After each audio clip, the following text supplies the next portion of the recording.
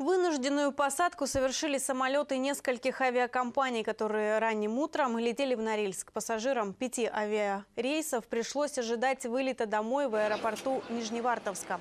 Воздушная гавань Ханты-Мансийского автономного округа приняла лайнеры, совершавшие рейс из Москвы, Санкт-Петербурга и Красноярска.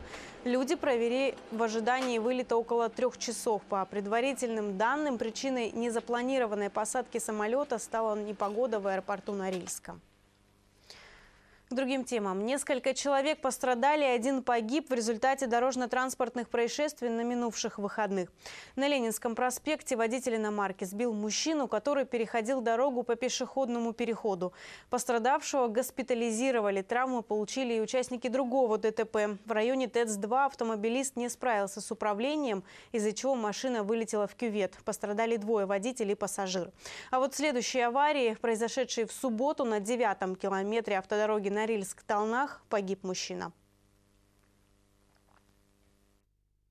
Водитель э, иномарки Mercedes-Benz выехал на полосу встречного движения, где, собственно, допустил столкновение э, с другой иномаркой, в результате чего э, водитель Мерседеса скончался на месте до приезда скорой помощи. Э, водитель э, автомобиля Hyundai Solaris, женщина, была госпитализирована. Есть основания предполагать, что э, мужчине, за, э, который находился за рулем Мерседеса, стало плохо с сердцем, в результате чего он потерял сознание, ну и, собственно, выехал на полосу встречного движения. Жители Талнаха с тревогой ждут заморозков. С начала отопительного сезона прошла целая неделя, а в некоторых домах на Федоровского 3 и Маслова 10 до сих пор нет тепла. Кроме того, уверяют люди, частично отсутствует и горячая вода. Алла Долматова побывала в проблемных домах, где пообщалась с квартиросъемщиками и представителями управляющей компании. Это еще повезло, что на улице температура положительная, говорит Ангелина Резникова. Но все равно ей и ее соседям до сих пор приходится пользоваться электрообогревателями. Хотя официально отопительный сезон начался 1 сентября. Вроде отопительный сезон уже ну, запущен, у нас ни отопления, ни горячей воды, ничего нет. Из новостей увидели, что начальник, э, господи, главный энергетик. Да, главный энергетик, да, сказал, что запущено все отопление, что максимум, что какие-то стояки не работают, а во всех домах есть отопление. Тем не менее, есть достоверная информация, что нету вот два дома Федоровского 3, Федоровского 2, Маслова 10. Как сообщили в управляющей компании, подготовка к отопительному сезону в их организации прошла по плану. Горячая вода в квартирах появилась появилась вовремя. Проблема в недогреве. По нормативам при поступлении в краны радиатора она должна составлять примерно 60 градусов. По факту же получается 40-45. В таком положении находятся жители практически всех домов, подключенных 31-й насосной. А это более 50 адресов. Работы проводят, я так понимаю, в этом районе. Вот меняют трубопровод. Сейчас на данный момент, согласно вот полученной телефонограмме о том, что это неоднократно уже продлеваются работы, на сетях Интека на прямом трубопроводе, согласно их, их же это, от насосной станции проводят работы. Как объяснили в МУПКОС, куда, кстати, не раз обращались жители Толнаха, с 31 августа НТЭК проводит ремонтные работы на линии теплосети. Отсутствие тепла объясняется тем, что с 31 числа э, НТЭК проводит ремонтные работы на прямой линии теплосети. То есть 31 насосная станция сейчас находится на рециркуляции, то есть вода из обратки в обратку впрямую подается. Не хватает температуры, и поэтому отсутствует тепло, только горячая вода. Тепло жителям холодных домов обещают дать 8 сентября в 12 часов дня. В управляющей компании уже готовится сделать перерасчет за коммунальные услуги, как и положено по закону. Алла Долматова, Оксана Завгородняя, Андрей Полибезев и Андрей Анфалов. Вести, Норильск. На городских газонах и клумбах высадили несколько тысяч кустарников и десятки килограммов семян многолетних трав.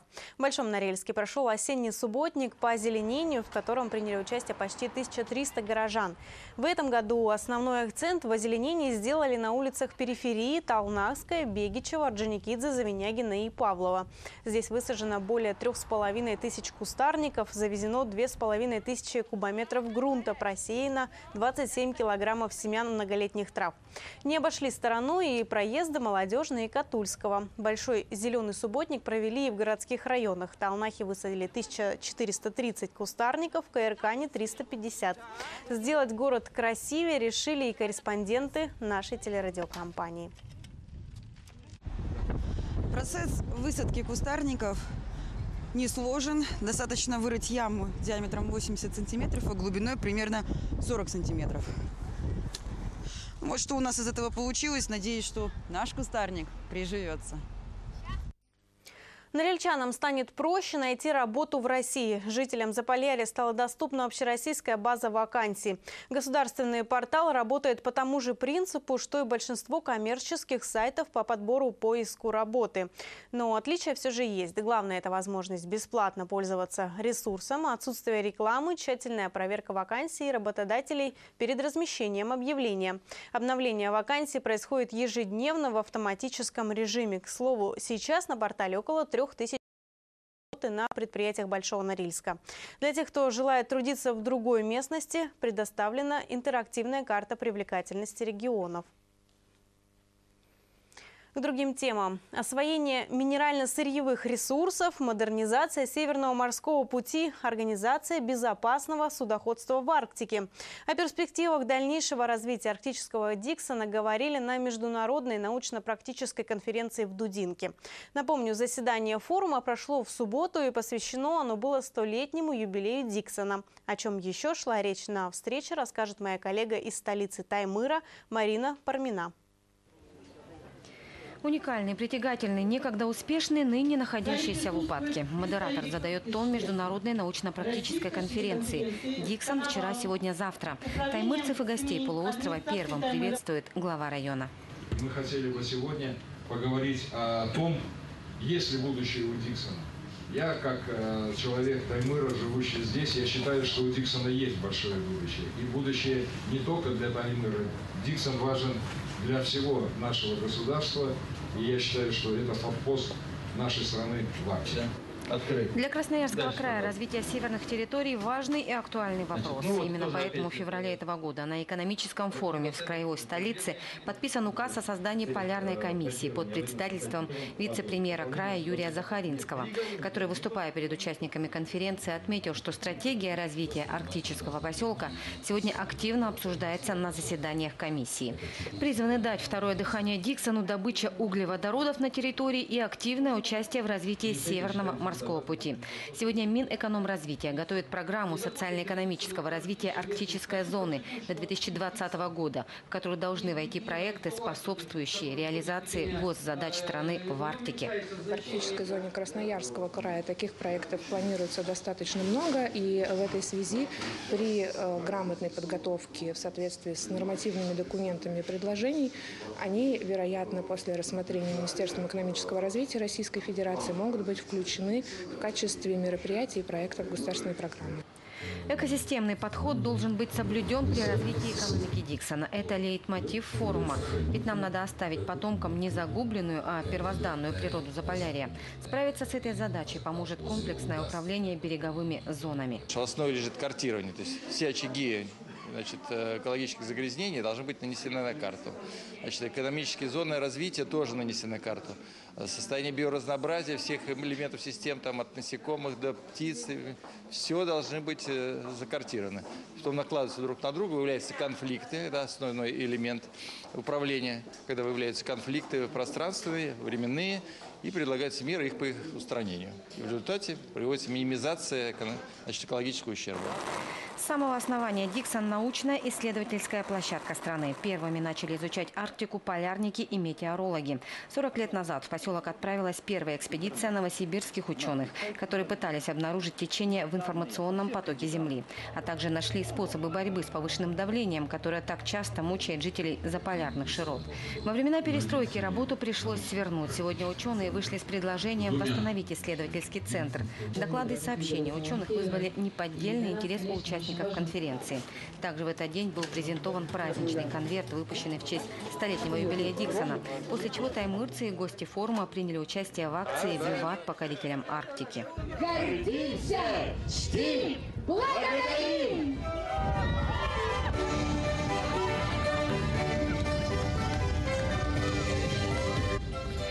Впереди много работы. Предстоит реконструировать морской порт Диксона и аэропорт, очистить берега Енисея и его залива от древесины и металлолома, найти общий язык с ресурсодобывающими компаниями. Такие задачи стоят на пути к успешному развитию Диксона сегодня, празднующего столетие.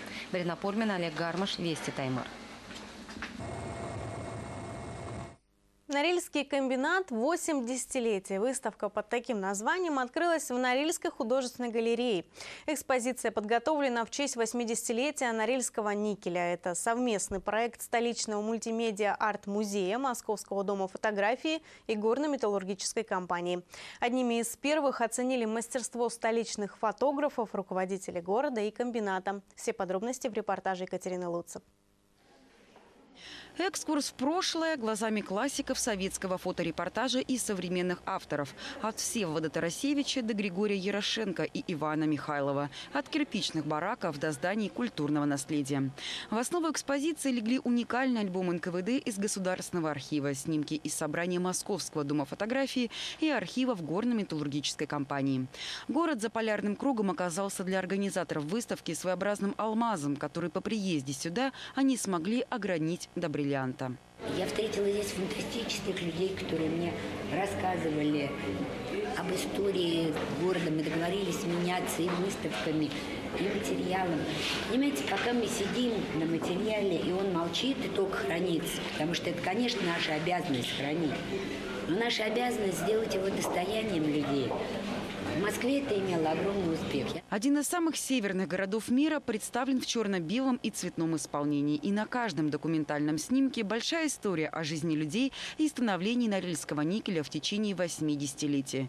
Ранее все фотоработы были выставлены в Московском мультимедиа арт-музее. О наших земляках и их заслугах узнали свыше 40 тысяч россиян.